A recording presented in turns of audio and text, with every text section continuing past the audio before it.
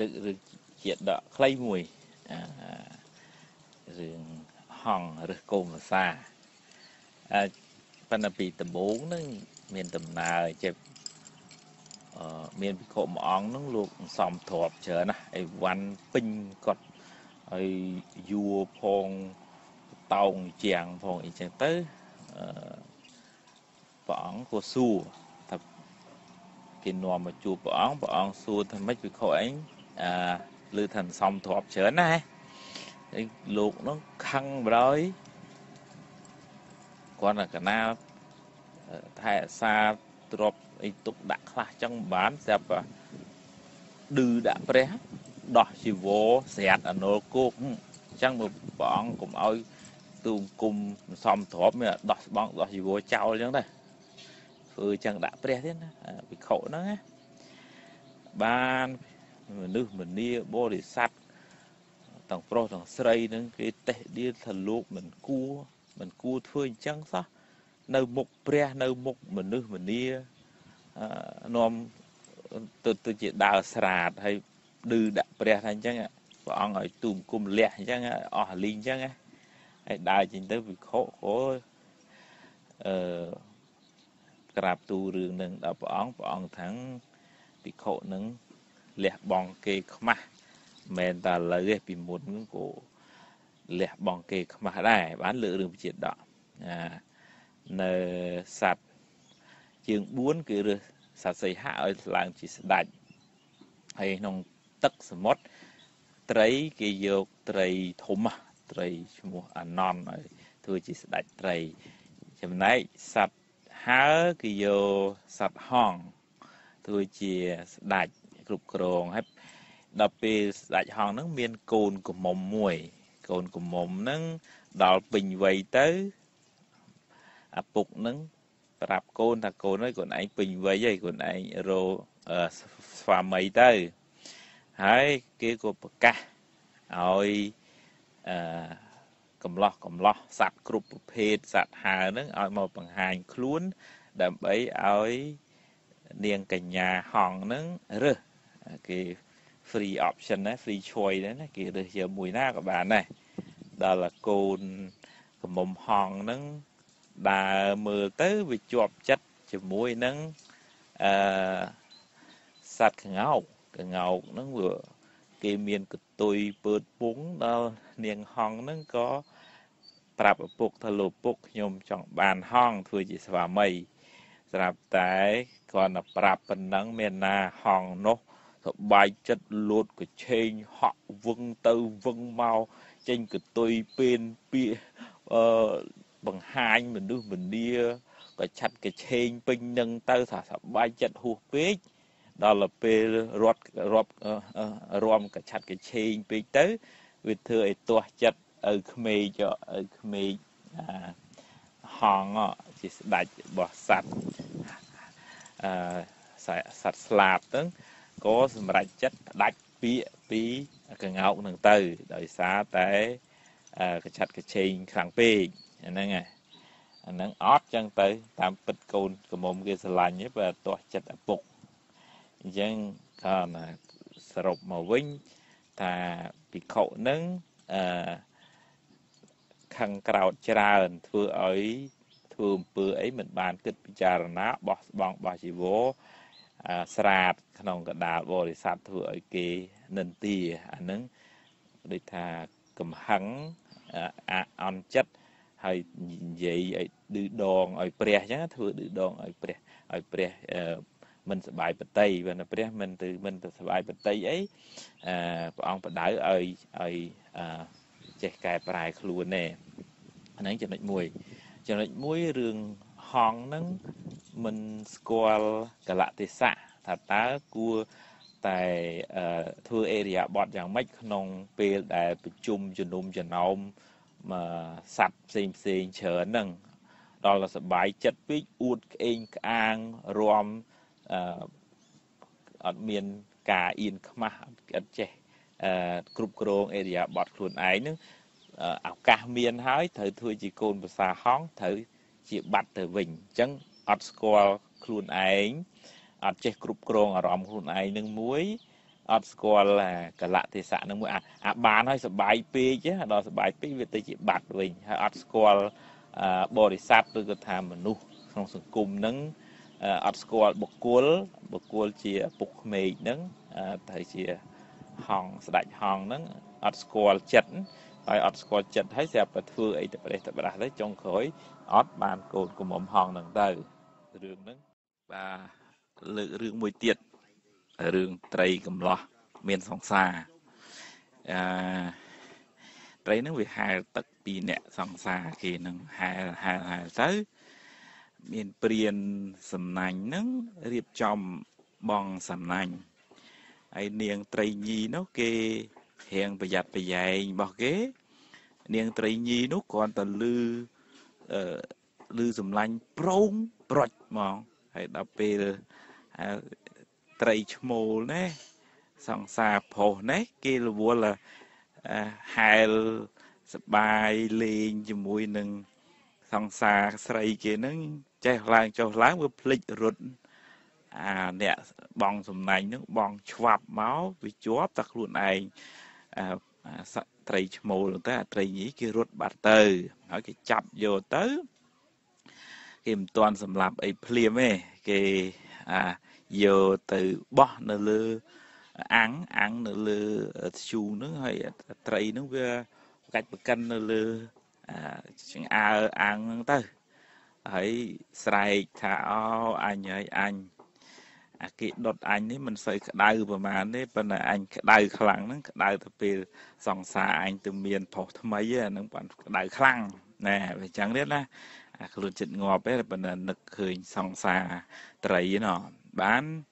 អឺព្រះពោធិសត្វកាលនោះលោកកើតជាប្រហិតរបស់ស្ដេចដើរអឺលេងតាមមាត់ស្ទឹងហ្នឹងក៏ឮសំឡេងលោកចេះស្ដាប់ចេះស្ដាប់ភាសាសត្វនឹកឃើញថាអូសត្វត្រីនេះជាប់ចម្ពាក់នឹងត្រីញីឯតាហើយបើចិត្តរវើរវាយមុននឹងស្លាប់នេះនឹងមុននឹងស្លាប់ហ្នឹង ស្លាប់ទៅពិតជាធ្លាក់នរកមិនខានទេហើយចុះបើអញមិនជួយទេពិតជាធ្លាក់ទៅអបាយភូមិហើយក៏បានទៅសួរព្រានសំណាញ់ហ្នឹងព្រាននេសាទហ្នឹងថាអីហើយមានអីអត់ហ្នឹងខ្ញុំចង់យកត្រីធ្វើម្ហូបខ្លះព្រានសំណាញ់គេថាអើយលោកប្រោហិតរើសយកមួយណាយកទៅបានព្រះពុទ្ធិស័តប្រោហិតហ្នឹងខាងខ្ញុំចង់បានអាមួយនៅលើឆ្អើនេះ អូលោកប្រហិតអញ្ជើញយកចោះបានអាប្រហិតនឹងនិយាយប្រាប់ត្រីហ្នឹងណាត្រីឯងណាជាប់ចម្ពាក់នឹងត្រីញីសង្សារហ្នឹងណាស្លាប់ទៅធ្លាក់នរកហើយកុំជាប់ចម្ពាក់អញ្ចឹងហើយក៏យកទៅលែងទៅអញ្ចឹងត្រឡប់មកវិញអាការឆ្លាញ់ជាប់ចម្ពាក់ហ្នឹងជួយក៏ជាហេតុនាំមក នៅសេចក្តីទុកដែរហើយព្រះពុទ្ធស័ព្ទឃើញអា ត្រីនឹងជាអ្នកមានទុកនឹងក៏ជួយ យើងទាំងអស់គ្នាឃើញអ្នកដតីមានទុកលំបាកកុំសោចកុំយំកុំពេកកុំជ្រាយពេលគ្នាពិបាកស្មុគស្មាញខូចចិត្តអីជួយឲ្យយោបល់លើកទឹកចិត្តគ្នាទៅបានបនកសលផងលើករឿងមួយទៀតចាស់រឿងគ្រូទីរើសថ្ងៃរៀបការអឺគ្រូសាមួយនឹងគោរពលោកតបោះមួយនឹងណាប៉ុន្តែ គប់ជួនអីគ្រួសារនឹងរៀបចំការកូនអត់បានទៅជំរាបតបោះនឹងឲ្យដឹងតែពេលមួយតបោះនឹងមកពីព្រៃមកចូលផ្ទះគ្រួសារនឹងធ្លាប់រាប់អានគ្នានោះក៏បានអឺសួរទៅសុខសប្បាយជាទេអីចឹងទៅបានអ្នកផ្ទះហ្នឹង ថាមិនអីសុខសប្បាយទេអរគុណព្រះអង្គទៅបានប្រាប់ថាលោកតាខ្ញុំកណាត្រូវរៀបចំការកូនថ្ងៃស្អែកហ្នឹងហើយស្រាប់ថាតបោះហ្នឹងខឹងហ្មងនេះអត់ប្រាប់អញការកូននឹកក្នុងចិត្តយីវាអត់មានទុកអញក្នុងភ្នែកអីជាអ្នកបួសអីអត់ខឹងហ្មងប្រាប់នឹកឃើញខឹងអញ្ចឹងហីអឺុំ ឲ្យវាបានការថ្ងៃស្អែកប្រាប់ថាណែការថ្ងៃស្អែកហ្នឹងអាក្រក់ចង្រៃការថ្ងៃស្អែកហ្នឹងគ្រោះថ្នាក់ណាទាំងប្តីទាំងប្រពន្ធណាបានភ័យហ្មងចឹងធ្វើម៉េចទៅលោកតាណែកុំកុំការថ្ងៃស្អែកចាំការថ្ងៃក្រោយវិញតាមពិតរបស់នឹងខឹងណាបានស្រាប់តាអឺថ្ងៃមួយថ្ងៃស្អែកហ្នឹងខាងស្រីនោះគេរៀបចំទទួលអឺ កូនប្រុសហើយនៅស្រុកឥណ្ឌាហ្នឹងគេនាំកូនប្រុសទៅការខាងកូនស្រីហើយគេហែពីផ្ទះកូនប្រុសទៅ ដល់ពេលទៅថ្ងៃស្អែកត្រូវហែកូនប្រុសទៅ កូនស្រីនោះកំពុងរៀបចំទទួលដំណើរកូន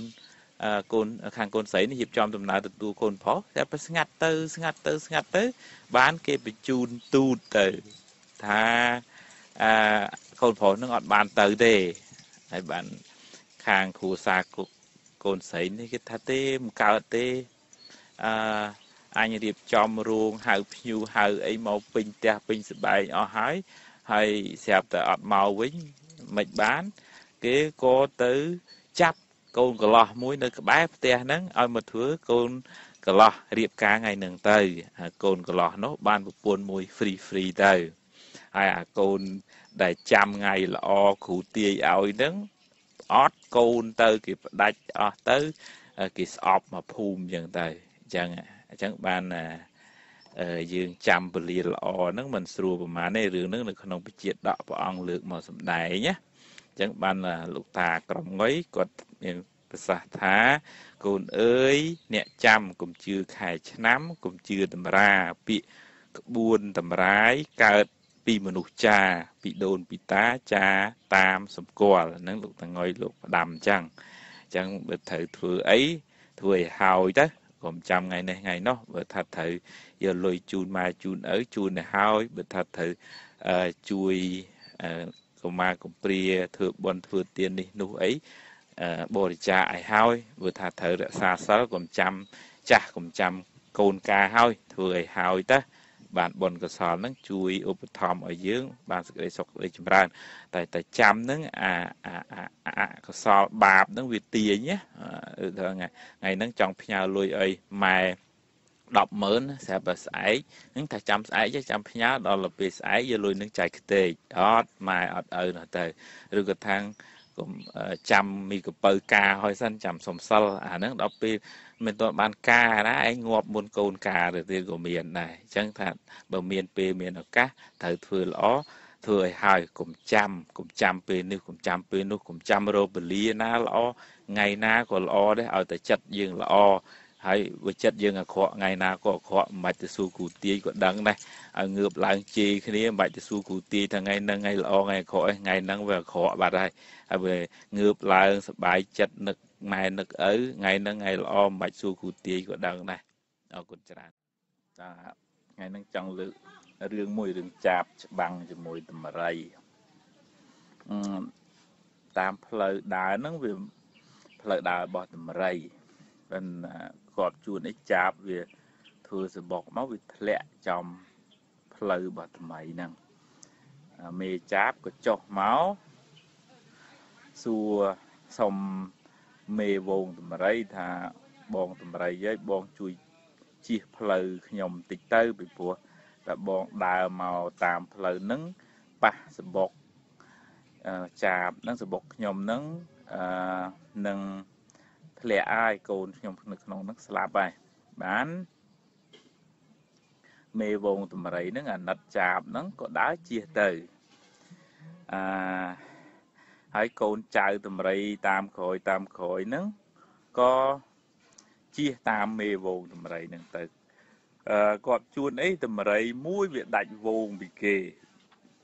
វានៅដើរអឺលេងត្នេះត្នោះចឹងទៅ វាដាច់វងពីគេវាដើរមកតែឯងចាបនឹងឃើញចុះទៅសុំតម្រៃនឹងម្ដងទៀតថាបងតម្រៃឲ្យបងជួយជៀសផ្លូវ តិចទៅវៀងតិចទៅពីព្រោះអឺតែបងដើរតាមនឹងជន់ប៉ះនឹងសបុកខ្ញុំកូនខ្ញុំធ្លាក់មកស្លាប់ហើយអាថ្មីក្រោយណែគេរៀងអឺគេថាអាណាប្រើឲ្យឯងមកធ្វើសបុកទៅនឹងអត់ដឹងថាផ្លូវនឹងផ្លូវអញដើរទេបានថាអត់ទេបងអើយខ្ញុំធ្វើឆ្ងាយដែរប៉ុន្តែមេឃភ្លៀងខ្យល់មកវាធ្លាក់មកកន្លែងនឹងទៅខ្ញុំវាមិនដឹងធ្វើម៉េចឲ្យកូននៅខ្ញុំនៅក្នុងសបុក បងឯងជួយជៀសទេអញមិនដឹងទេរឿងរបស់ឯងអញដើររឿងរបស់អញក៏ដើរទៅ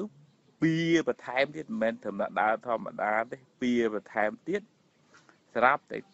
សបុកចាបហ្នឹងធ្លាក់មកទៅកូនស្រែកជិះចាយអាតម្រៃហ្នឹងជន់ឌឺទៀតជន់កូនចាបហ្នឹងស្លាប់អស់ទៅតាមេចាបនឹងហើយឆ្វិតឆ្វាត់ ខឹងជាអាតម្រៃនឹងមិនដឹងធ្វើម៉េចជួយកូនបានតុកសិចមានការសោកស្ដាយកូននឹងខ្លាំងណាស់បានរៀបចំផែនការសេណារីយ៉ូដើម្បីច្បាំងជាមួយនឹងតម្រៃហ្នឹងខ្លួនឯងជាចាបហ្នឹងណាប៉ុន្តែខ្លួនឯងជាចាបមិនដឹងទៅធ្វើម៉េច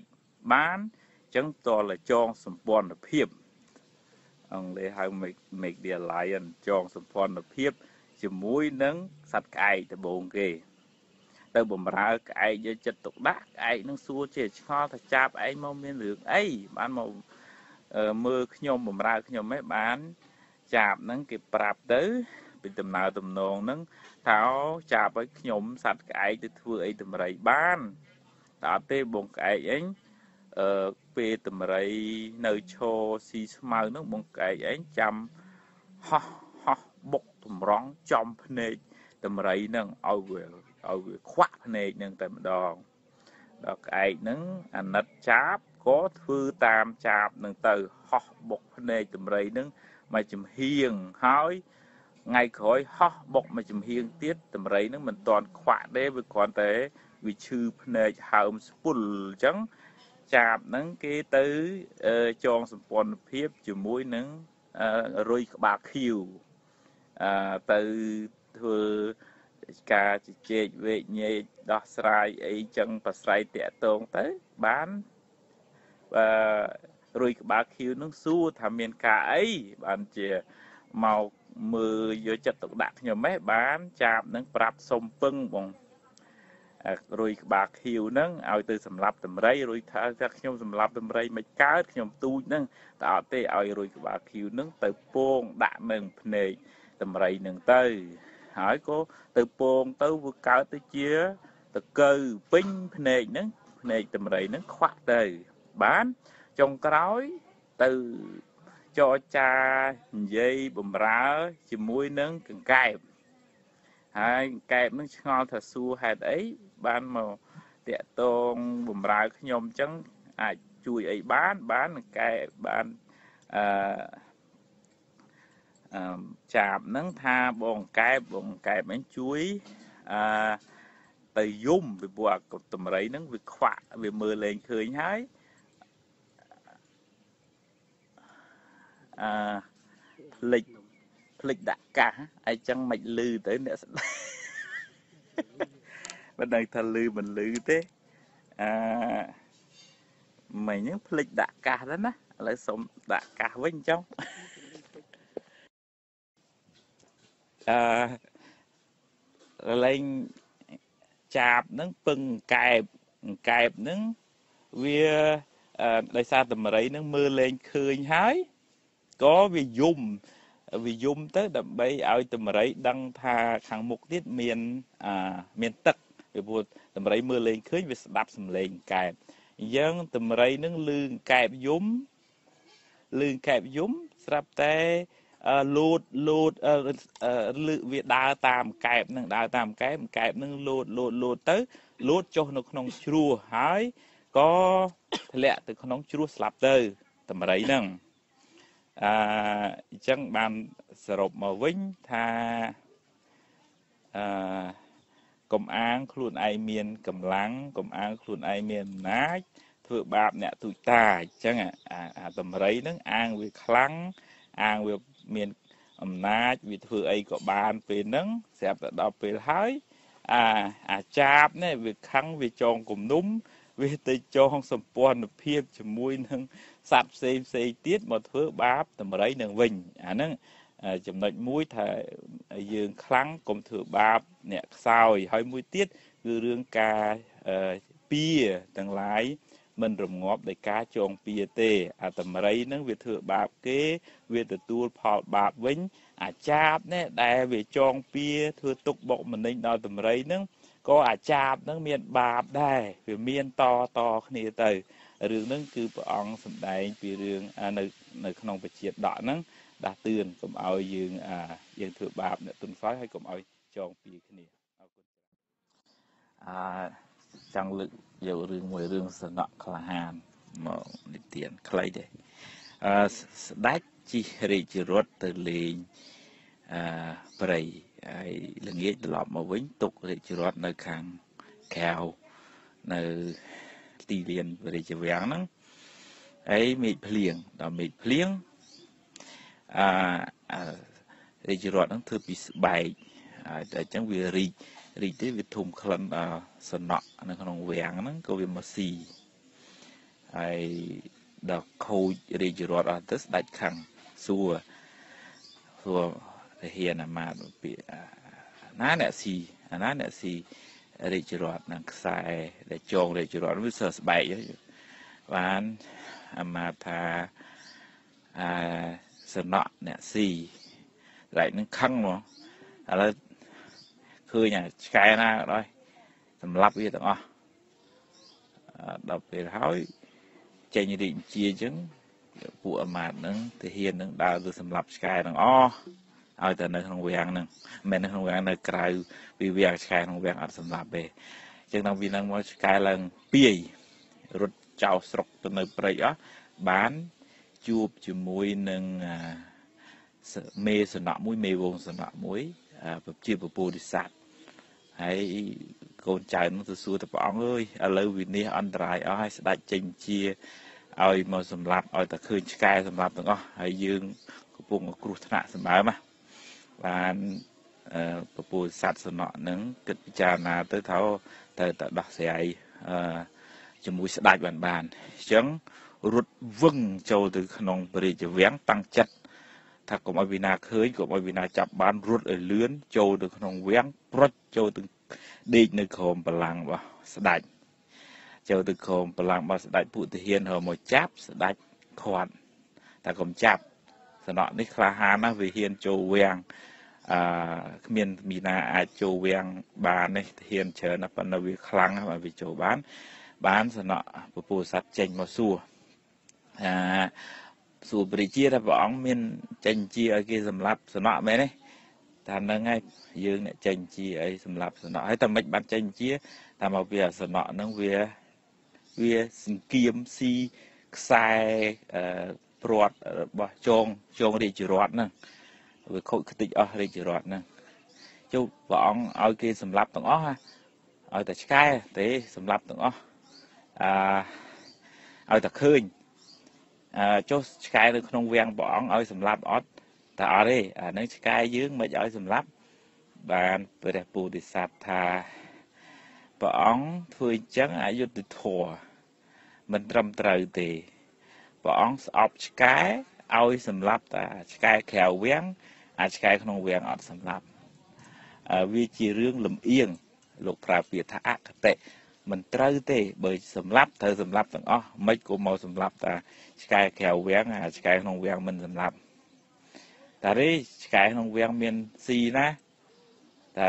អត់ទេព្រះអង្គមិនដឹងព្រះអង្គមិនដឹងថាឆ្កែក្នុងវាំងអត់ស៊ីខ្សែព្រាត់ហ្នឹងខ្សែចងរាជរដ្ឋហ្នឹងតែវាអំស៊ីទេឆ្កែយើងស៊ីរបស់ល្អល្អណាស់ទេព្រះអង្គអត់ទាន់ដឹងហើយចេញជាឲ្យគេ សម្លាប់អញ្ចឹងមិនមិនត្រូវទេក្នុងនាមជាអ្នកគ្រប់គ្រងណាអីបដៅស្ដាច់ទៀតឆ្កែហ្នឹងបានព្រះរាជាសួរចុះចុះអ្នកឯងដឹងថាឆ្កែណាអ្នកស៊ីព្រាត់ហ្នឹងឯងថាទូមគុំដឹង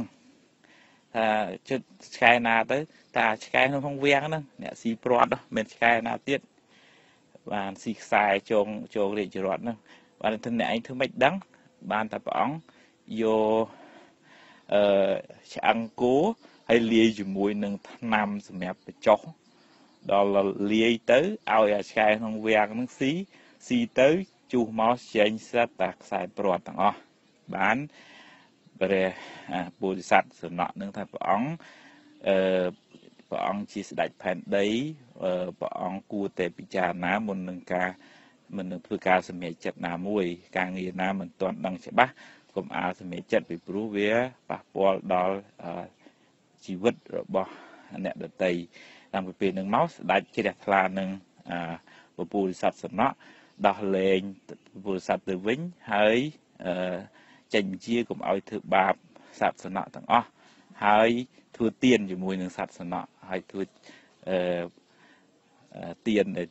មហូបដែលដាក់ឲ្យសត្វសំណក់ហ្នឹងដូចមហូបរបស់ព្រះអង្គអញ្ចឹងអញ្ចឹងគាត់សរុបមកវិញគឺថា ត្រូវពិចារណាដឹងរឿងឲ្យច្បាស់លាស់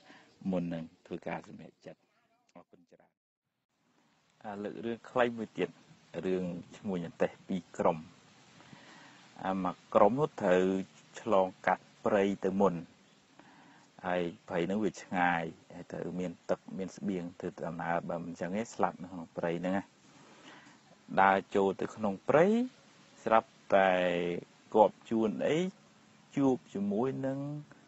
មនុស្សមួយក្រុម គេប្រឡំខ្លួនតាមពិតទៅជាអឺយៈអមនុស្សដែលចង់មកស៊ីមនុស្សទាំងអស់ហ្នឹងប្រាប់និមិត្តធ្វើជាភូមិធ្វើជាស្រុកហើយធ្វើជាស្រែចម្ការអីចឹងទៅ ប្រាប់អ្នកឈ្មោះរទេសទាំងអស់ហ្នឹងថាឈ្មោះរទេសទី1ហ្នឹងថាអូយបោះ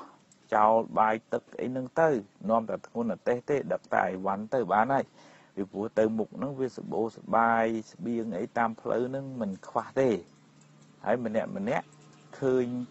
អ្នកស្រុកអ្នកភូមិគេប្រាប់ចឹងក៏បោះអីវ៉ាន់ចោលតាមផ្លូវកុំឲ្យធ្ងន់គូពេកធ្វើដំណើរទៅចេះតែឆ្ងាយទៅឆ្ងាយទៅអត់អីបរិភោគក៏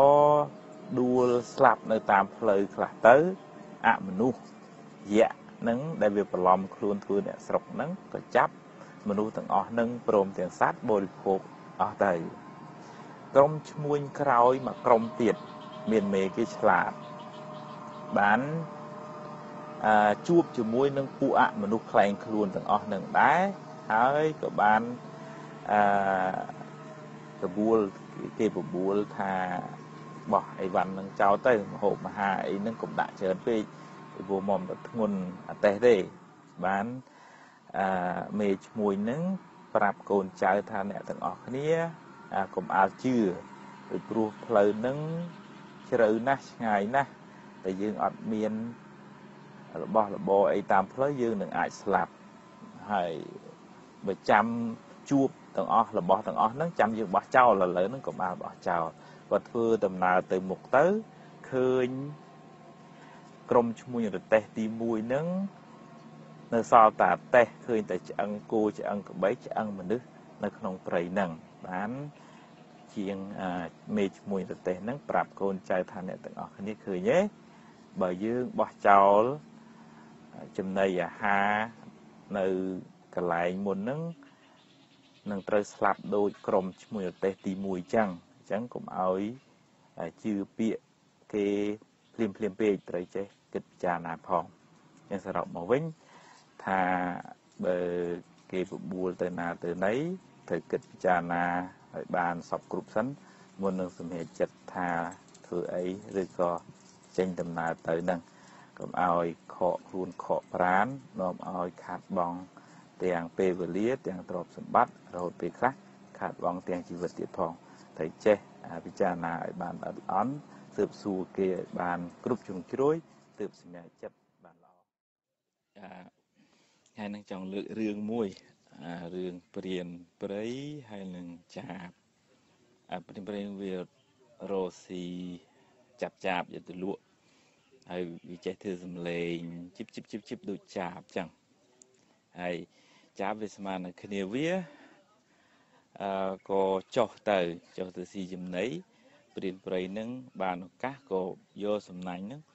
បងចាប់បានទាំងអស់ទាំងអស់យកទៅលក់ រាល់ថ្ងៃអញ្ចឹងដែរ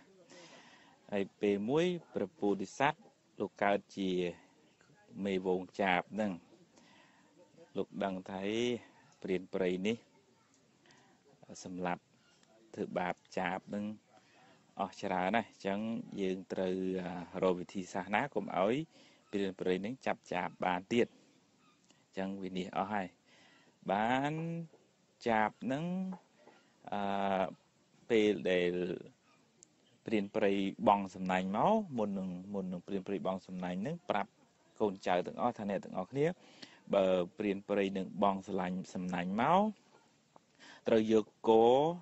ចូលទៅក្នុងលោកសោកចូលទៅក្នុងប្រហោងសំណាញ់ហើយទៅទះស្លាប់ទាំងអស់គ្នាណាឲ្យព្រមព្រមគ្នាហើយកូនចៅចាបទាំងអស់គ្នាហ្នឹងក៏ព្រមធ្វើតាមពេល ព្រានព្រៃនឹងបងសណាញ់ទៅទាំងអស់គ្នានឹងផឹងទៅទះស្លាប់ទាំងអស់គ្នាយកគោសោកចូលក្នុងកាឡាសំណាញ់ហ្នឹងហោះយកទៅទាំងអស់ទាំង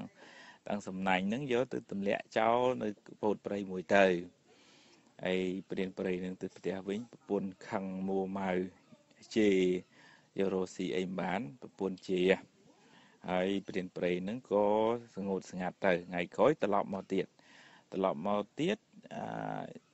ចាប់បងសំណាញ់ទៀតធ្វើសំឡេងដូចសត្វចាបអញ្ចឹងហើយក៏ចាប់បងសំណាញ់ដល់បងសំណាញ់ហ្មងនេះមានក្រុមចាបដែលប្រឹងហើជាមួយគ្នាដល់ប្រឹងវាទៅទះស្លាប់ទៅវាជ្រុះស្លាប់ជ្រុះអីមកលើសត្វចាបនៅខាងក្រោមហើយអញ្ចឹងឆ្លោះគ្នាថាណែអញឯមុនមើលងាយអញទៅជុះស្លាប់ដាក់អញអានោះជុះស្លាប់ដាក់អញអានោះឆ្លោះគ្នានៅក្នុង សំណាញ់ហ្នឹងទៅព្រានព្រៃក៏មកចាប់យកទៅលក់ទាំងអស់ទៅរឿងហ្នឹងសង្ខេបប៉ុណ្ណឹងព្រះអង្គសម្ដែងពីរឿងពញាតរបស់ព្រះអង្គឆ្លោះគ្នាហ្នឹងរឿងរឿងដើមទឹកគ្នាណាទឹកវានៅកណ្ដាលទឹកស្ទឹងមួយនៅជាព្រំដែនហើយប្រជាជនមួយខាងក៏យកទឹកស្ទឹងនឹងប្រើប្រជាជនមួយខាងទៀតក៏យកទឹកស្ទឹងនឹងប្រើប៉ុន្តែដល់ពេលទឹកនឹងវាស្រកទៅនាំគ្នាឆ្លោះគ្នា នៅនេះគ្នាឆ្លោះគ្នាព្រះអង្គរត់លើកតបលើកអីអ្នកទាំងសងខាងហ្នឹងលើកតបលើកអីយកទៅច្បាំងគ្នាផងសម្រាប់គ្នាហើយព្រះអង្គក៏ទៅខាត់ព្រះអង្គខាត់បញ្យល់ហេតុផលថាទឹកហើយនឹងឈាមរបស់មនុស្សហ្នឹងតើមួយណាថ្លៃជាងហើយបានពន្យល់លើករឿងរ៉ាវទាំងអស់ហ្នឹងទៅបានអាញាតទាំងសងខាងហ្នឹងលែងឆ្លោះគ្នាទៅញាតខាងមេដានិងញាតខាងបិតាហ្នឹងសរុបមកវិញ ថាវិនិច្ឆ័យអន្តរាយនឹងអាចកើតឡើងបើសិនជាមួយខាងមួយខាងប្រកាន់ទោសរៀងខ្លួន មិនព្រម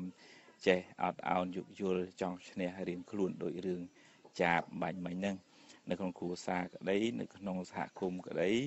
នៅក្នុងស្ថាប័នរដ្ឋក្តីឯកជនក្តីវត្តអារាមក្តីបើមានចិត្តចងគំនុំខឹងអឺ មិនចេះយោគយល់អត់ឲ្យនឹងគ្នាទេកន្លែងហ្នឹងនឹងវិនិច្ឆ័យអន្តរាយមិនខានទេអាមិនវិនិច្ឆ័យអន្តរាយហ្នឹងមិនមែនអ្នកណាយអ្នកយកមកឲ្យវិនិច្ឆ័យអន្តរាយទេគឺ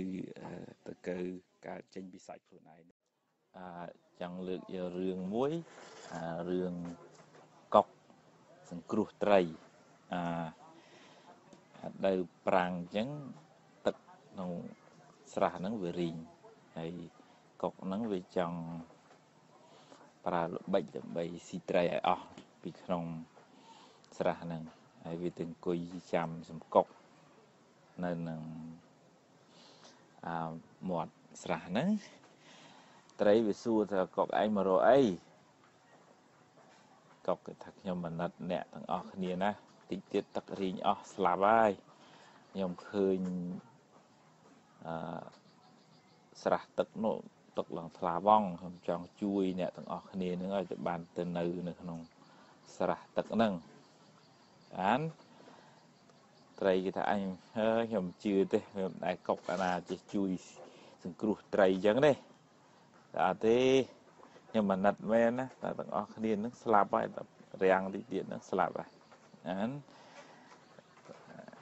កុកគេចង់បង្ហាញថាគេចង់ជួយមិនបើគេថាបើមិនជឿទេចាំជូនទៅម្ដងខ្ញុំជូនទៅឲ្យមើលត្រីហ្នឹងក៏គេបញ្ជូនទូតឲ្យទៅតាមរយៈកុកហ្នឹងទៅមើលស្រះថ្មីហ្នឹងអូគេសប្បាយណាស់ចាប់ទៅដល់ទឹកថ្លាវងត្រជាក់អញ្ចឹងទៅគេសប្បាយចិត្តហើយត្រឡប់មកវិញគេអួតប្រាប់ដល់ត្រីត្រីនៅក្នុងស្រះទឹករីងនឹងទៅអូ ទៅទៅមិនខុសទេស្រះទឹកថ្មីនឹងល្អណាស់អញ្ចឹងម្ដងម្នាក់ម្ដងម្នាក់កុកនឹងស៊ីខ្ទេចអមកស្រះនឹងទៅវាពំយកទៅស៊ីនៅលើដើមឈើនឹងជុះឆ្អឹងឡើងរាយនៅសក់ក្តាមចុងក្រោយក្តាមហ្នឹងវា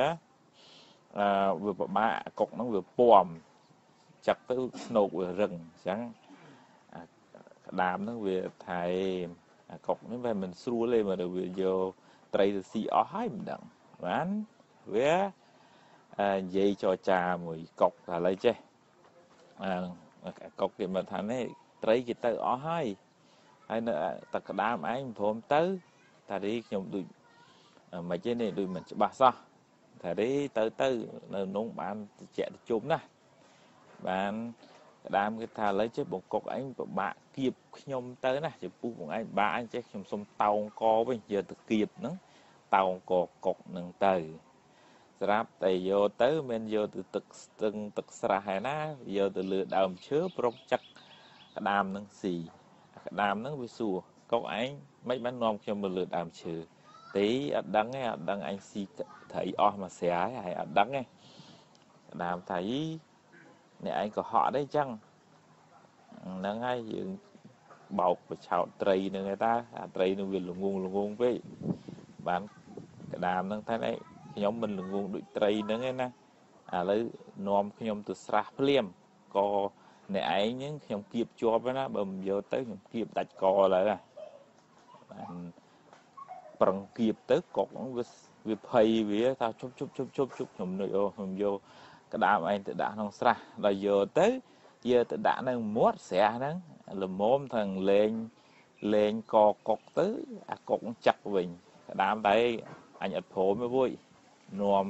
នាំអញទៅកដាលស្រះបានអញលេងដល់ទៅដល់កដាលស្រះអឺកុកនឹងក្តាមនឹងគៀបកកុកនឹងដាច់ខ្យល់ស្លាប់ទៅចាហ្នឹងសរុបមកវិញថា អាបោកប្រាស់គេនឹងវាមិនមែនចេះតែបានបោកប្រាស់រហូតទេថ្ងៃណាមួយបាបកម្មតន់មកដល់អ្នកបោកគេនឹងទទួលទុកខ្លាំងណាស់អញ្ចឹងអារស់ស៊ីរបៀបបោកប្រាស់គេនឹងមិនយូរវែងទេរស់មិនបានយូរស្លោះគ្នាឬក៏ជាប់ទោសទន់គេចាប់ដាក់គុកដាក់ច្រវាក់ហើយបើលួចឆក់ប្លន់គេគេវាយគេទាត់គេធាក់អញ្ចឹងទៅអញ្ចឹងកុំអាងតែខ្លួនឯង ប្រកែបោកគេដើរបោកគេយ៉ាត់បាបកម្មតន់ហន់តន់ដល់អានឹងយើងមានមានទុកធ្ងន់ណាអរគុណអាលើករឿងខ្លីមួយទៀតចាស់រឿងពោះកណ្ដុរសេកហើយនៅរាជបុត្រអារាជបុត្រហ្នឹងខូចជាងគេអឺវាអាងតកូនស្ដាច់ដើរវាយទាត់ធាក់មេនុំមេនាងរាជបំរើហ្នឹងគេស្អប់គ្រប់គ្នាក្នុងវាំង កូនកូនស្ដាច់មានអំណាចមានអាធ្វើហ៊ានធ្វើអីអញ្ចឹងគេស្អប់ដល់គេស្អប់ថ្ងៃមួយគេនាំគ្នាទៅលេងទឹកនៅក្នុងស្ទឹងហើយព្រះរាជបុត្រហ្នឹងលេងលេងទៅស្រាប់តែមេឃភ្លៀងធំមែនទែនធ្លាក់មកកឹកកឹកកឹកកឹកកឹកម្នាក់ម្នាក់នាំគ្នារត់រត់ហើយនឹកឃើញថាអឺកូនស្ដាច់រាជបុត្រនឹងឲ្យវាងាប់នៅក្នុងទឹកហ្នឹងណា អាក្រក់ណាស់ដើរជេរគេវាយគេវាយក្បាលទាត់គេគ្រប់គ្នាឲ្យវាងាប់ទៅយើងមិនបាច់ទៅជួយទេហើយនាំគ្នារត់មកវាំងមកអារាជបុត្រនឹងខ្វាយខ្វាយខ្វាយទៅតោងបានឈើ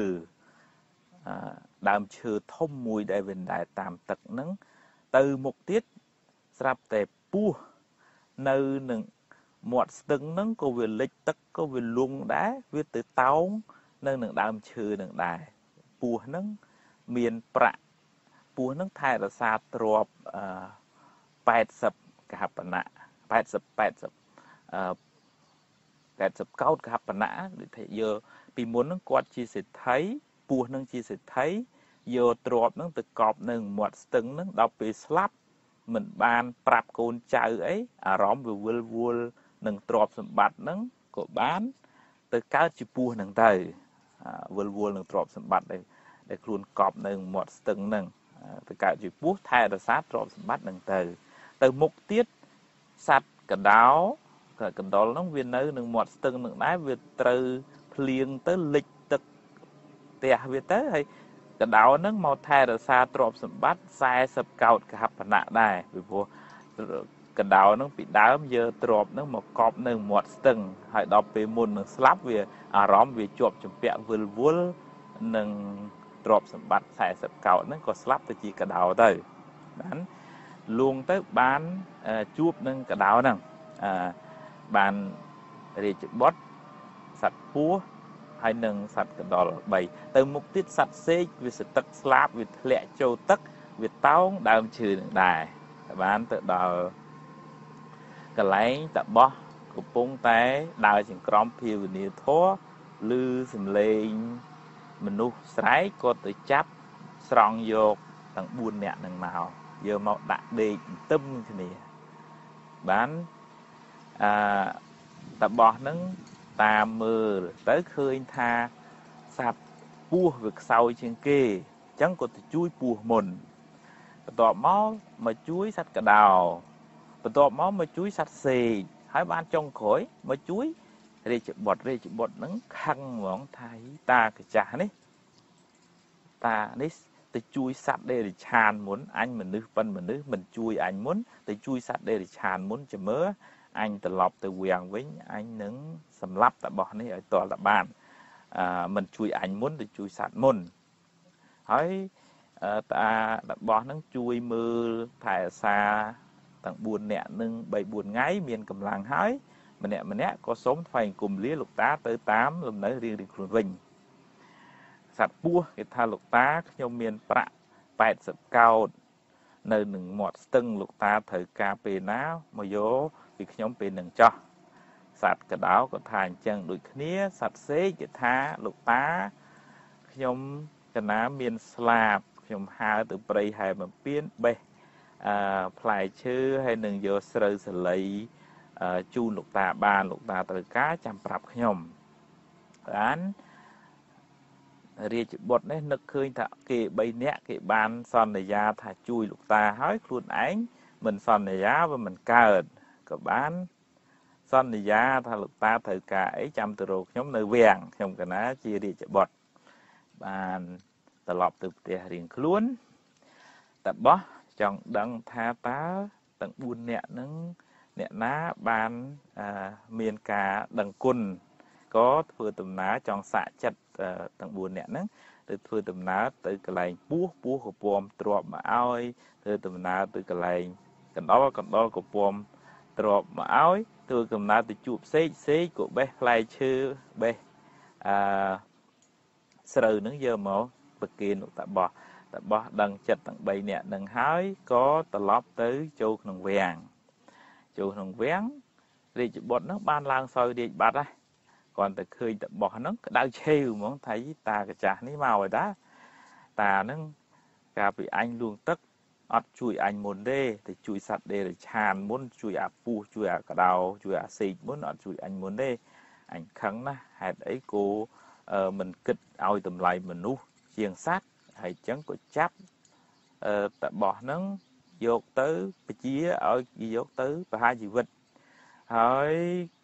អ្នកអាមាតពួកពេជ្ជឃាតនឹងមានដឹងអីស្ដេចបញ្ជាក៏ចាប់យកទៅប្រហារជីវិតចងដើរបង្ហាញអ្នកស្រុកអ្នកភូមិតាមផ្លូវថាជាឧក្រិដ្ឋជនអញ្ចឹងទៅបានរបស់នឹងនិយាយថានិយាយខ្សឹបខ្សឹបម្នាក់ឯងថា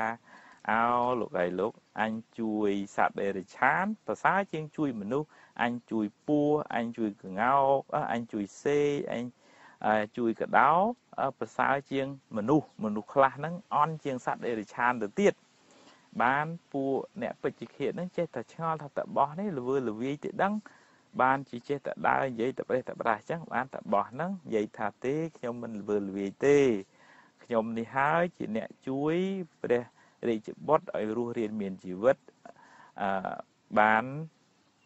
អឺឡើងមកសោយរាជនឹងដោយសារខ្ញុំជួយពេលលួងទឹកនៅក្នុងព្រៃឯណោះប៉ុន្តែឥឡូវនេះព្រះរាជាអកតញ្ញូល្មើលគុណសម្រាប់ខ្ញុំវិញចាញ់សត្វដេរឆាន3ទៀតដែលខ្ញុំខំជួយដែរហើយគេដឹងគុណខ្ញុំណាស់បានពួកពេជ្ជឃាតពួកអាមាត្យមន្ត្រីទាំងអស់ហ្នឹង ស្ដាប់ទៅវាហួសចិត្តថាស្ដេចនេះក៏អាក្រក់ម្លេះអ្នកដែលជួយជីវិតឲ្យខ្លួនរស់រានមានជីវិតហើយ បានឡើងសោយរាជហើយមិនដឹងគុណគេបែរទៅជាចង់សម្លាប់គេវិញ បានម្នាក់ម្នាក់នាំគ្នាបង្វែកវិតបង្វែអាវុធពីលោកតាបោះទៅសម្លាប់ព្រះរាជាក្មេងនឹងទៅស្លាប់ទៅក៏នាំព្រះ តាបោះហ្នឹងឲ្យឡើងសោយរាជវិញតាបោះហ្នឹងក៏នាំសត្វទាំង3ហ្នឹងមករស់នៅក្នុងវាំងមកហ្នឹងក្នុងនាមជាមនុស្សកុំឲ្យអន់ជាងសត្វសត្វហ្នឹងក៏វាចេះដឹងគុណអ្នកដែលមានឧបការៈគុណលើវាដែរមនុស្សខ្លះអន់ជាងសត្វទៅទៀតម៉ែឪខំចំគេខំជួយបែរទៅជាធ្វើបាបធ្វើទុកបុកម្នេញអឲ្យអ្នកដតីនឹងក្តៅក្រហាយដោយសារខ្លួនឯងអញ្ចឹង ត្រូវមានកតញ្ញូកតវេទិតាធម៌ជួយដល់អ្នកដែលមានឧបការៈគុណដល់យើង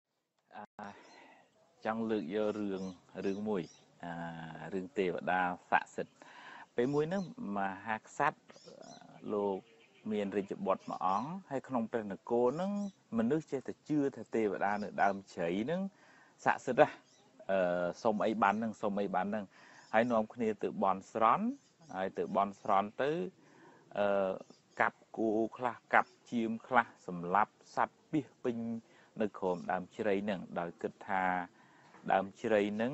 ទេវតាដែលនៅដើមជ្រៃហ្នឹងស័ក្តិសិទ្ធិសុំអីក៏បានដែរចម្លែកតែព្រះរាជបុត្រហ្នឹងលោកគិតថាទេអ្នកស្រុកអ្នកស្រុកហ្នឹងយល់ខុសហើយអឺមិនមែនទេវតាហ្នឹងអ្នកឲ្យបានសម្រេច តាមសេចក្តីប្រាថ្នាអីទេគឺជាការយល់ខុសតែម្ដងប៉ុន្តែដោយសារខ្លួនឯងជាព្រះរាជបុត្រហើយអំណាចនៅក្រោមប្របីតាខ្លួនឯងអត់អាចធ្វើអីបានទេក៏ទុកបដោយរឿងហ្នឹងឲ្យទៅមករយៈសិនរហូតដល់ពេលប្របីតាសោយទីវង្គតទៅ បានប្របីតាហ្នឹងបានគេលើករាជហ្នឹងថ្វាយព្រះរាជបុត្រហ្នឹងព្រះរាជបុត្រហ្នឹងរៀបចំព្រះនគរហើយចាប់ផ្ដើមនឹករលឹកដល់ការយល់ខុសរបស់ មហាជននៅក្នុងប្រទេសហ្នឹងក៏ធ្វើដំណើរទៅកន្លែងបូជាយ៉ាញ់នៅក្រោមដើមជ្រៃហ្នឹងហើយសួរអាមាត្យថាណាលោកអាមាត្យទាំងអស់គ្នាលោកអាមាត្យមានដឹងទេថាខ្ញុំឡើងសោយរាជនេះយើងឡើងសោយរាជនេះបានដោយសារអីអាមាត្យថាទូមគុំអត់ដឹងទេព្រះអង្គបានព្រះជាថាខ្ញុំកាលពីនៅជារាជបុត្រនៅឡើយខ្ញុំបានមកបន់ស្រន់នៅក្រោមដើមឈើហ្នឹង ថាបើខ្ញុំបានឡើងសោយរាជពិតប្រកបមែនខ្ញុំនឹងធ្វើពិធីបូជាយ៉ាញ់ដល់ទេវតាដែលថែរក្សានៅដើមជ្រៃហ្នឹងឥឡូវដល់ពេលដែលខ្ញុំត្រូវបូជាទេវតានៅដើមជ្រៃហ្នឹងហើយពីព្រោះជាការបន់ស្រន់របស់ខ្ញុំបានព្រះរាជាអាមាត្យថាចឹងព្រះអង្គយកអីមកបូជា បានព្រះរាជាថាឥឡូវ អាមាត្យទាំងអស់គ្នាដើរជុំវិញព្រះនគរអ្នកណាក៏ដោយឲ្យតែប្រព្រឹត្តល្មើសសិល5កម្មបត្តិ10ត្រូវចាប់អ្នកនឹងយកមកធ្វើជាបលិកម្មសម្រាប់បូជាទេវតាទាំងអស់បាវខ្មោបាវគងវាយខ្មោះដើររមនុស្សណាក៏ដោយឲ្យតែល្មើសសិល5ទៅសម្លាប់គេទៅលួចគេទៅប្រព្រឹត្តខុសក្នុងកាមភូតកុហកផឹកស្រា ហើយនឹងនិយាយដើមគេចាក់ចុចគេបំបីបំបាក់គេអីអីទាំងអស់ហ្នឹងកម្មបត្តិ10ហ្នឹងបើថាអ្នកណាដែលប្រព្រឹត្តល្មើសត្រូវយកមកអាកបូជាឈាមស្រស់សាច់ស្រស់ចំពោះទេវតានៅដើមជ្រៃហ្នឹងចាប់ពីពេលហ្នឹងមកពួកអាមាតដើររ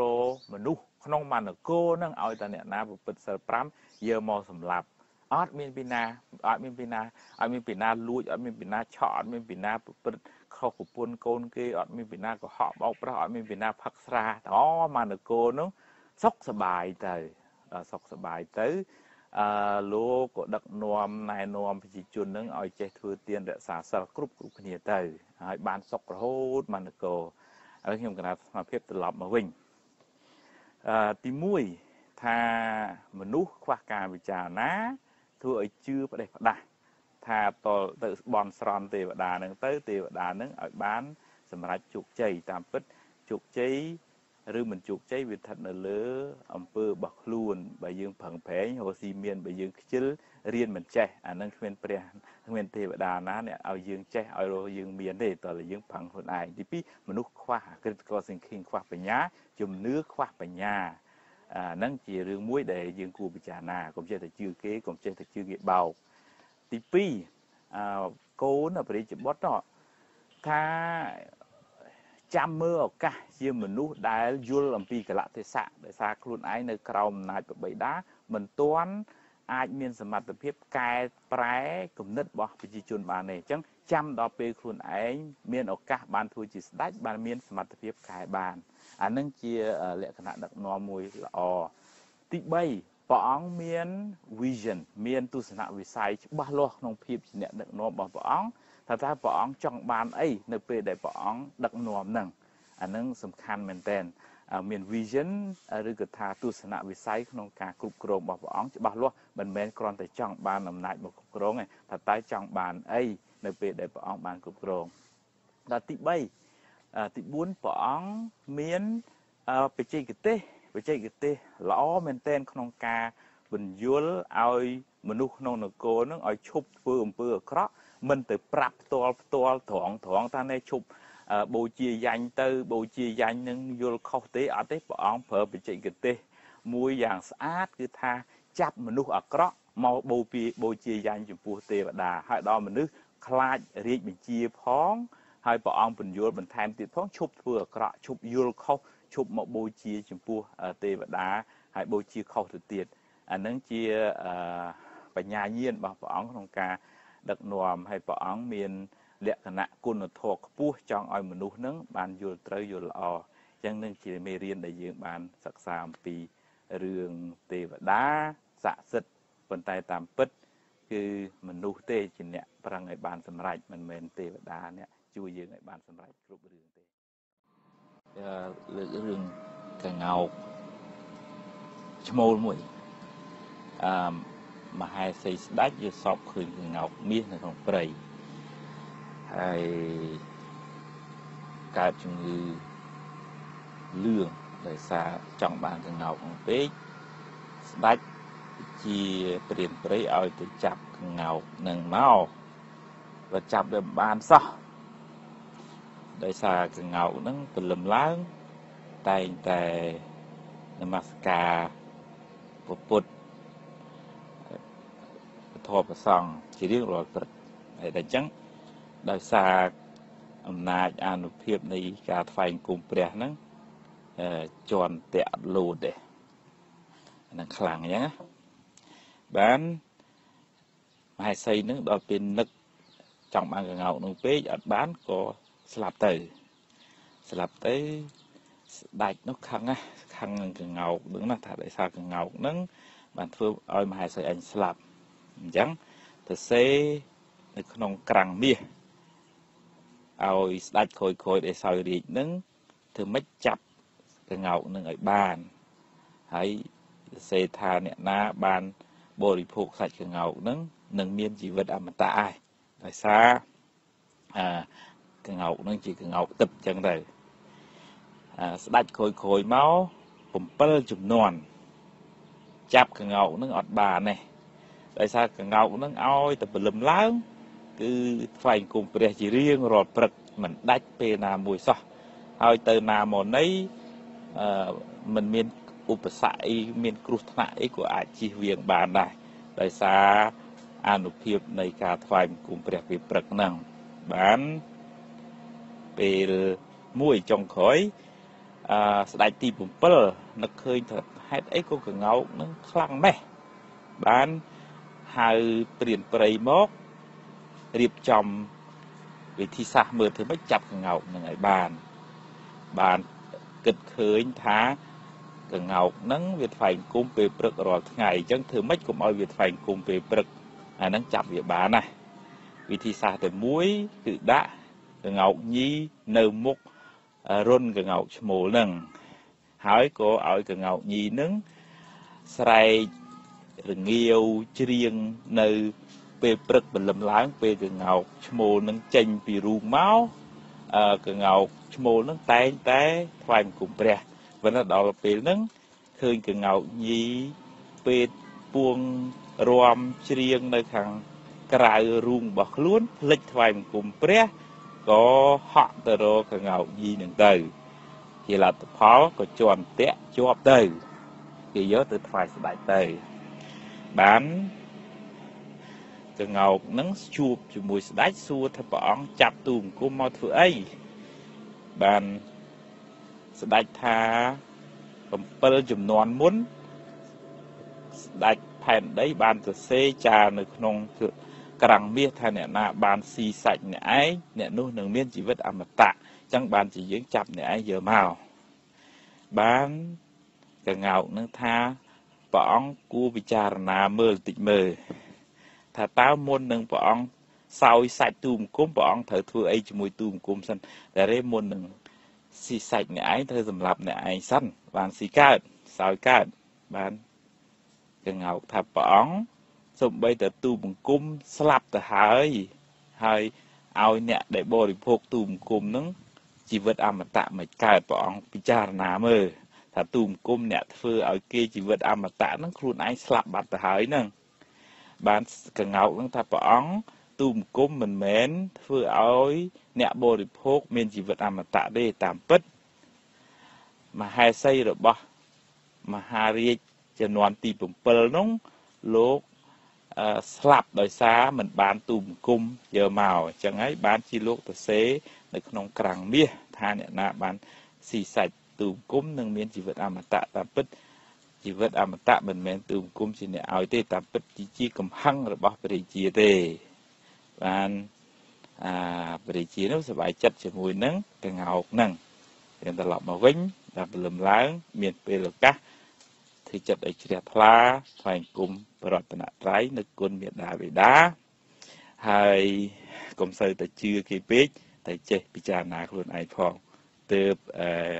ជីវិតនឹងមានជោគជ័យល្អអឺលើករឿងមួយទៀតចាស់រឿងសត្វជ្រូកព្រៃវាច្បាំងមួយនឹងសត្វសីហៈនៅក្នុងព្រៃហ្នឹងវាមានអាតពាំងទឹកមួយខែប្រាំងហ្នឹងស ត្វណាណាក៏វាមកផឹកតពាំងទឹកហ្នឹងដែរដោយសារវាក្រទឹកផឹកហើយសត្វផ្សេងផ្សេងពេលមកអញ្ចឹងតើកាលណាឃើញសត្វសីហៈមកវារត់ហើយវាខ្លាចសត្វសីហៈហ្នឹងណាអត់ហ៊ាននៅក្បែរចម្លែកទៅជូកព្រៃមួយហ្នឹងវាថាយីអាសត្វសឹងឯងដូចសត្វតោធំអញ្ចឹងណាអូវាជើង4ដូចតែអញតាអឺហើយវាស៊ី ដើរស៊ីចំណីនៅក្នុងព្រៃជាមួយគ្នាតាហើយវាវាខ្លាំងអីតែឯងវាដូចជាដើរមកដូចជាដេញគេដេញឯងអស់ចឹងអញដូចទ្រាំបានទេប្រកាសអឺរងៃច្បាំងជាមួយនឹងសត្វសីហៈនឹងម្ដងតែមើលអ្នកឯងខ្លាំងប៉ុណ្ណាខ្ញុំចង់សាកលបងជាមួយអ្នកឯងមើលអ្នកឯងនឹងខ្លាំងអីដើរជើង4ជំដូចតែគ្នាតា សត្វសីហៈថាបើអ្នកឯងចង់ច្បាំងក៏ចង់ក៏សាកដែរចង់ណាត់ថ្ងៃគ្នាមួយទឹកក្រោយមកបានអឺត្រូវដល់ថ្ងៃច្បាំងជ្រូកព្រៃនឹងត្រឡប់ទៅផ្ទះកន្លែងវិញអួតប្រាប់ដល់បងប្អូនថាអើយខ្ញុំខឹងអាសត្វសឹងហ្នឹងណាសត្វសីហៈហ្នឹងណាខ្ញុំឃើញវាមកខ្ញុំគ្រឹះវាណា វាមកវាដេញគេដេញឯងវាមិនដេញទេគេទាំងអស់គ្នាគឺខ្លាចរត់ខ្ញុំចង់ដឹងរឹតអំណាចហ្នឹងវាប៉ុណ្ណាខ្ញុំណាត់ថ្ងៃវាច្បាំងហ่ะបានបងប្អូនជ្រូកក្នុងព្រៃហ្នឹងថាអីហើយអត់ការងារធ្វើណាស់ទៅហ៎បានជាចង់ទៅច្បាំងជាមួយនឹងសត្វសីហៈងាប់ណាអត់រស់ទេណាទៅច្បាំងមួយសត្វសីហៈហ្នឹងមានរស់ទេណា ម្នាក់ពីរនាក់បីនាក់ទាំងអស់គ្នាបងប្អូនជ្រូកព្រៃហ្នឹងគេឲ្យយោបល់អញ្ចឹងទៅភ័យហ្មងអីអញធ្វើមិនចេះមើលទៅងាប់ហើយមកទឹកទៀតហ្នឹងមានរស់ទេសត្វតោសត្វសីហៈនឹងខំបន្តិចញក់ទៅងាប់បាត់ហើយបានអឺជ្រូកព្រៃផ្សេងផ្សេងហ្នឹងគេឲ្យយោបល់តើឯងតើមានវិធីសាស្ត្រទើបអាច យកឈ្នះសត្វសីហៈនឹងបានក៏នាំគ្នាឲ្យយោបល់ជ្រូកព្រៃនឹងថាណោនៅក្បែរហ្នឹងមានតបោះមួយហើយតបោះហ្នឹងមានធ្វើប្រគុណហើយបើចង់ឈ្នះតើជ្រូកព្រៃឯងទៅត្រាំក្នុងអាប្រគុណតបោះហ្នឹងទៅត្រាំឲ្យហាលថ្ងៃត្រាំឲ្យហាលថ្ងៃអឺតក្រៀមឲ្យដល់ថ្ងៃប្រកួត ចាំទៅដល់ទីលានប្រកួត ទៅរកខាងលើខ្យល់សត្វសីហៈ ឈរពីលើទៅហើយចាំចាប់ផ្ដើមច្បាំងបានដល់ថ្ងៃប្រកួតសត្វសីហៈនឹងមកជ្រូកព្រៃនឹងមករត់រោអាខាងលើខ្យល់ហ្នឹងហើយក៏ប្រកាសរច្បាំងគាត់សัตว์សីហៈធំក្លិនជ្រូកព្រៃហ្នឹងថាអើយអញដូចបាច់ច្បាំងក៏បានដែរអញឲ្យឯងឈ្នះចោះមិនចាំបាច់ថាអញយកអឺ ចកោមអញទៅខំទេសំបីតែកញ្ចក់ជើងអញនឹងមិនហ៊ានទៅប៉ះខ្លួនឯងផងអើអញឲ្យឯងឈ្នះទៅអឺបានដើរចេញទៅជ្រូកព្រៃនឹងបានរស់រៀនមានជីវិតទៅត្រឡប់មកវិញថាត្រូវមើលសមត្ថភាពខ្លួនឯងកុំចេះតែអួតក្អេងក្អាងកុំចេះតែមើលស្រាលគេធ្វើការងាររួមជាក្រុមហ្នឹងកុំចេះ កុំចេះតែឯងពេកឲ្យឱកាសដល់អ្នកដតីមានយោបល់ហើយចេះទទួលគំនិតអ្នកដតីផងកុំខ្លាំងតែឯងតែកាលណាខ្លាំងតែឯងគេស្អប់ចុងក្រោយ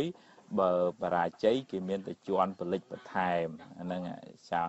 ជ្រូកព្រៃហ្នឹងតប្រឡាក់លិមួកមានណាជួយចិត្តមនុស្សប្រឡាក់លិមួកមនុស្សអួតក្អេងក្អាងមនុស្ស លើកតម្កើងខ្លួនឯងមនុស្សមិនចេះឲ្យតម្លៃអ្នកដតីហ្នឹងអញ្ចឹងធ្វើការងារជាក្រុមរស់នៅជាមួយគ្នាចេះឲ្យតម្លៃគ្នា ចេះទទួលយកយោបល់អ្នកដតីទើបគេស្រឡាញ់គេជួយចិត្តយើងហើយរស់នៅជាមួយគ្នាបាទថ្ងៃនេះយករឿងសេកអ្នកដឹកនាំដល់ផ្កាយអឺវាសត្វសេកនេះវានាំគ្នាហើរទៅរយចំណីនៅក្នុងព្រៃហើយគប់ជួនថ្ងៃហ្នឹង ឃើញស្រូវហ្នឹងនៅពីសពេញដីនៅក្នុងព្រៃហ្នឹងសេកផ្សេងផ្សេងទៅថ្ងៃនេះសំណាងធំណាដើររចំណីស្រាប់តែមានចំណីស្រាប់ស្រាប់នៅក្នុងព្រៃហ្នឹងហ្មងនាំគ្នារចុះចុះទៅអឺស៊ីចំណីនៅក្នុងព្រៃហ្នឹងស្រាប់តែមេវងសេកហ្នឹងក៏ហាម5 ហើយថាដាស់តឿនថាណែយើងទាំងអស់គ្នាប្រយ័ត្នប្រយែងអឺយើងហើរតាមផ្លូវនឹងរាល់ដងមិនដែលឃើញមានស្រូវអីនៅពីពេញដីចឹងឯងអាស្រូវនឹងអាចមានគ្រោះថ្នាក់ហើយអឺបានសេកផ្សេងទៅអូយបងអើយកុំគិតច្រើនពេកមានរបស់ស៊ីស៊ីទៅហ្នឹងមេសេកនឹងហាមមិនស្ដាប់ក៏នាំគ្នាចុះទៅដល់ពេលចុះទៅ សេកមេនឹងកូនចៅចុះទៅក៏ចុះទៅតាម ស្រាប់តែកំពុងតែស៊ីស្រូវឆ្ងាញ់ឆ្ងាញ់នៅក្នុងព្រៃនឹងគេក៏បងបោះលោបមកអឺដល់តាក់ជាប់ទាំងអស់គ្នាអញ្ចឹងទៅទាំងមេទាំងកូនអីចឹងហើយដល់ហើយម្នាក់ម្នាក់ចាប់ផ្ដើម បន្ទោសគ្នាអញថាថាកុំឲ្យចុះមកឲ្យឃើញអីចឹងឯងមិនស្ដាប់ទេស្អីចឹងអញមិនចង់ចឹងណាអញឃើញវាឆ្ងាញ់អញឃើញវាចំណៃល្អអញចុះមកចឹងទៅតែអញ្ចឹងបន្ទោសគ្នាទៅវិញទៅមកបានមេវងបាសេកហ្នឹងថាអេពេលនេះមិនមែនជាពេលដែលយើងត្រូវបន្ទោសគ្នាទេអាពេលនេះជាពេលដែលយើងត្រូវរកវិធីដោះស្រាយកុំនាំគ្នាបន្ទោសគ្នាបាន សួរថាចឹងបងឯងយើងធ្វើម៉េចទៅបើយើងជាប់នៅក្នុងលោបដូចសំណាញ់អញ្ចឹងណាគឺសំណាញ់គេបងមកវាជាប់អស់ហើយអញ្ចឹងបានអូមិនលោបទេលុបអានឹងសុំទោសអានឹងលុបអានឹងគេហៅលុបអឺដូចជាសំណាញ់គេបងមកអញ្ចឹងបានសេកអឺប្រធានសេកនឹងថាឥឡូវចេះអ្នកទាំងអស់គ្នា តាំងចិត្តឲ្យនឹងណោស្មារតីឲ្យរឹងមាំហើយនាំគ្នាស្ទះស្លាបទាំងអស់គ្នា កកនោះដាក់ចូលនៅក្នុងប្រហោងសំណាញ់នឹងទៅ ហើយនាំគ្នាប្រឹងស្ទះស្លាបទាំងអស់គ្នា ដល់ហើយប្រឹងស្ទះស្លាបទាំងអស់គ្នាទៅអឺលើកទាំងសំណាញ់នឹងទៅបាត់ទៅដល់លើកទាំងសំណាញ់នឹងទៅបាត់ទៅប៉ុន្តែកកជាប់នៅក្នុងសំណាញ់នឹងឡើយទេអញ្ចឹងទៅឈប់មកកន្លែងក៏កូនចៅគេសួរថាំងបងអើយឥឡូវយើងរួចផុតពីដៃព្រានព្រៃហើយ ប៉ុន្តែយើងនៅតែជាប់សំណាញ់ដដែលអញ្ចឹងយើងធ្វើម៉េចទៅ បានសេកនឹងថាអត់អីទេខ្ញុំ មានមិត្តភ័ក្ដិមួយមិត្តភ័ក្ដិកដោអឺកាលពីវាលួងទឹកខ្ញុំជួយស្រង់វាឲ្យផុតពីទឹកមកខ្ញុំខ្ញុំគិតថាកដោនឹងអាចជួយខ្ញុំបាន ស្រាប់តែនាំគ្នាប្រឹងហើទៅជួបកដោសហ្នឹងស្ដាច់កដោសហ្នឹងទៅដល់អឺកដោសថាមានការអី បានសេកនឹងប្រាប់ថាបងកដៅអើយខ្ញុំមានទុកធ្ងន់ណាស់ខ្ញុំជាប់អឺលុបគេហើយ សំណាញ់គេនៅជាប់ខ្លួនទាំងអស់គ្នាបងជួយផងបានកដៅនឹងគេថាអង្គសេកអីខ្ញុំចង់ជួយដែរប៉ុន្តែថ្មិញខ្ញុំនេះវាគឺអស់ហើយខ្ញុំចាស់ហើយខ្ញុំមិនដឹងថាអាចជួយកគេបានប្រមាណអ្នកទេបាន អឺសេកនឹងថាអត់ទេបងជួយបានប្រមាណអ្នកយកប៉ុណ្ណឹងអ្នកប៉ុន្តែខ្ញុំខ្ញុំខ្ញុំចង់ឲ្យបងជួយដល់កដៅនឹងសួរថាឥឡូវឲ្យខ្ញុំជួយពីណាមុនឲ្យខ្ញុំជួយសេកឯងជាប្រធានមុនឬក៏ឲ្យជួយកូនចៅមុន បានសេកជាប្រធាននឹងនឹកឃើញអាណិតកូនចៅដែលវាពិបាកបបិនជាប់កស្រែកកេកាហ្នឹងក៏ប្រាប់ កណ្ដៅនឹងថាបងអើយបងបងឯងជួយជួយកូនចៅខ្ញុំមុនណាខ្ញុំចាំគិតក្រោយហើយសេកនឹងក៏ឲ្យកណ្ដៅនឹងជួយកូនចៅមុនដោះអស់លីងហើយចុងក្រោយអាកដោនឹងក៏មកជួយសេកនឹងចុងក្រោយគេទៅហ្នឹងអឺកដោនេះមិនទុកបដោយឲ្យមិត្តភ័ក្តិដែលជួយជីវិតនឹងជាប់នឹង លុបនឹងបានបើមិត្តភ័ក្តិនឹងជួយជីវិតខ្លួនឯងកាលពីខ្លួនឯងលួងទឹកប៉ុន្តែសេកនឹងមានចិត្តសាស្ត្រមួយពឹងឲ្យកដោជួយពឹងឲ្យកដោជួយកូនចៅមុនលះបង់ដើម្បីកូនចៅអញ្ចឹងហើយជាចិត្តសាស្ត្រកដោនឹងมันអាចទុក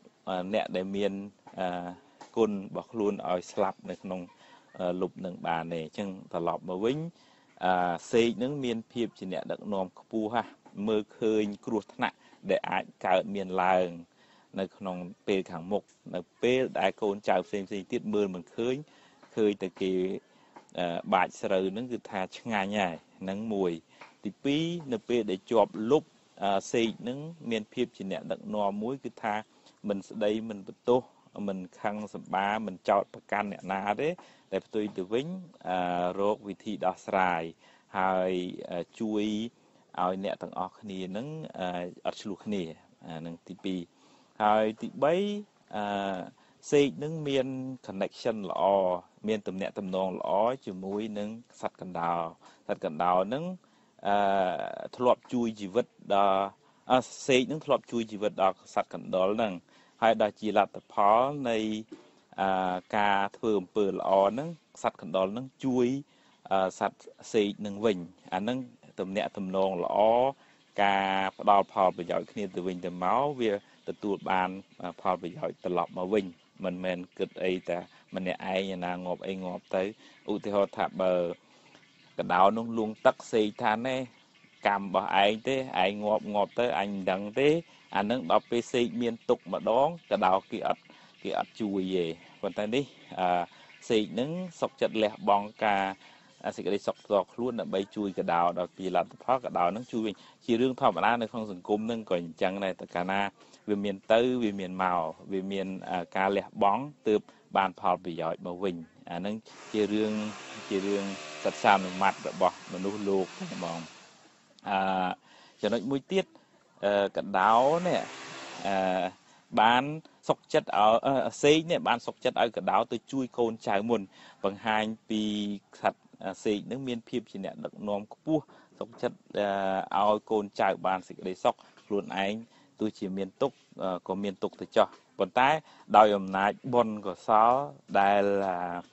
អឺសេកនឹងធ្លាប់ជួយកដោកដោនឹងត្រឡប់មកជួយសេកវិញតលបានចំណុច ចុងក្រោយមួយទៀតគឺ